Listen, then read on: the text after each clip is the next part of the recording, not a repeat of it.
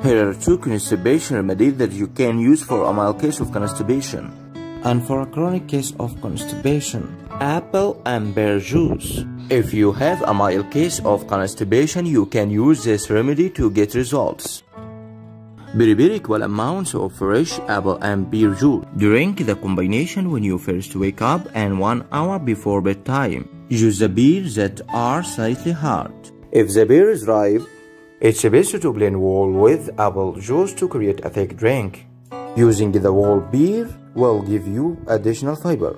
Just remove the seeds but don't be the organic type. Beers have minerals, vitamins and chemicals that help to clean out your colon kidney and to regenerate your blood cells. Apple juice and brown juice. Here's a constipation remedy that you can use if you have chronic constipation. In addition to just drinking apple juice, you can accelerate your peristaltic action with brown juice. Here's how to do it.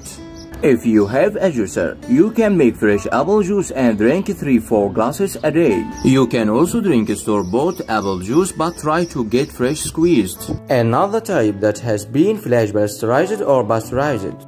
If you can find fresh apple juice, then use flash pasteurized. Buy your juice in glass containers if possible. Plastic containers are processed using solvents that stay in the container walls and gradually outgas into the apple juice. This outgassing is more severe when plastic containers are stored in hot places. To speed up the laxative effects of apple juice, Take the following combination first thing in the morning before you have breakfast. Drink 2-3 cups of brown juice after. Thank you for watching. See you later.